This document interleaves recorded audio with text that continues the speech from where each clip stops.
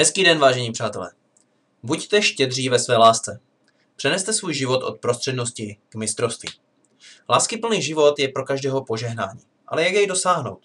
Lidé často touží po lásce, zejména tehdy, pokud ve svém životě žádnou necítí.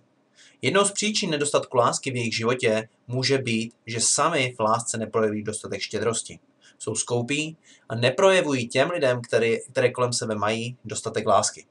Možná nechápou prastarý princip, možná o tom neví, že by to měli dělat, možná nedokážou projevit lásku sami sobě a tak se jim těžce projevuje do okolí. Ať už je to jakkoliv, je možné to změnit.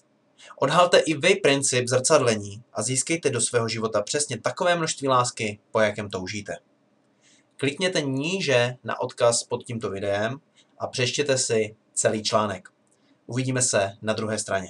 Přeji vám hezký den.